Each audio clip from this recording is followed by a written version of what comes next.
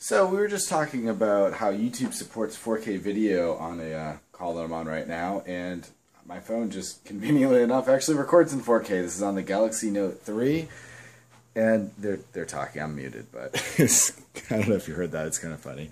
Uh, anyway, just doing a test just to see what 4K looks like on YouTube, and hopefully this will be viewable. Take care.